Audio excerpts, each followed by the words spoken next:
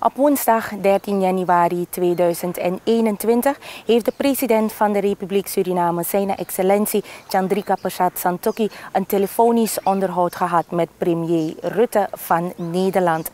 Medio februari zal een regeringsdelegatie onder leiding van de president Nederland bezoeken waar er verschillende gesprekken gehouden zullen worden. U hoort de minister van Buitenlandse Zaken, International Business en Internationale Samenwerking Albert Ramdien hierover. Inderdaad, uh, er is een uitnodiging gedaan door premier Rutte tijdens het gesprek van vanochtend tussen de beide regeringsleiders. Uh, waarbij hij dus president Santokhi heeft uitgenodigd voor een werkbezoek aan Nederland. Het is allemaal in de context van de vernieuwde, geïntensiveerde relatie tussen de beide landen sinds deze regering aan de macht is in juli.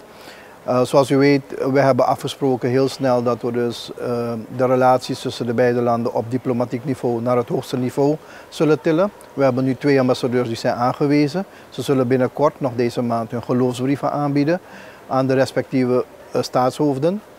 En ehm, dat is één belangrijke zaak, maar we hebben ook gesprekken gevoerd. Ik heb zelf twee keer gesprekken gevoerd met minister Stef Blok, die hier is geweest in verband met de onafhankelijkheidsviering, officieel namens de Nederlandse regering.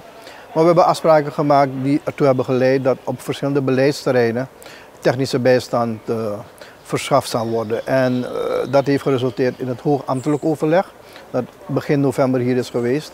En verschillende ministeries zijn dus met hun counterparts in Nederland bezig om die technische samenwerking vorm en inhoud te geven. Dat gaat gewoon voort, dat is een nieuwe, vernieuwde relatie. Maar we hebben ook op andere terreinen op het stuk van de politieke samenwerking uh, veel contact gehad. Uh, de ondersteuning die vanuit Nederland komt wat betreft de, het traject naar, de internationale, naar het Internationale Monetaire Fonds. Uh, die zijn weer herbevestigd vanmorgen. Dit gesprek vanmorgen was bedoeld om op regelmatige basis eigenlijk elkaar te spreken. Om een evaluatie te maken van hoe de relaties zich verder ontwikkelen. Nu de relaties na zes maanden tot op dit niveau zijn gebracht, willen beide regeringsleiders dus het weer een beetje verbeteren, verhogen in termen van de politieke aspecten. Dus in dat kader is president Santokhi uitgenodigd naar Nederland. Het bezoek zal plaatsvinden in, het, in de tweede helft van februari. De specifieke data zullen nog eh, bekend worden gemaakt.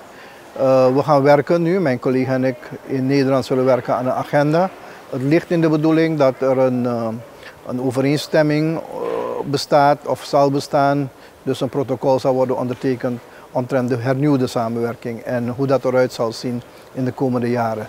Uh, er zijn verschillende overeenkomsten tussen de beide landen die nog steeds vigerend zijn. Um, maar de bedoeling is om toch wel goed vast te leggen hoe die relatie in de toekomst eruit zal zien. Dus dat is het uh, wat het bezoek betreft en het gesprek met premier Rutte in een goede sfeer. Uh, met een kijk op de toekomst. U weet, er zullen verkiezingen ook zijn in Nederland, uh, ergens in maart, april. En dat heeft natuurlijk zijn eigen dynamiek. Dus voordat die plaatsvinden, zal president Santokhi een werkbezoek brengen aan Nederland. En hij gaat van de gelegenheid natuurlijk gebruik maken om niet alleen officiële gesprekken te hebben met de Nederlandse regering, maar ook uh, gesprekken te hebben met het Nederlandse bedrijfsleven. U weet, in het buitenlands beleid willen we zeker het bedrijfsleven uh, stimuleren. De samenwerking tussen het Surinaamse en het Nederlandse bedrijfsleven. En natuurlijk zal hij gesprekken hebben en activiteiten hebben met de Surinaamse diaspora in Nederland.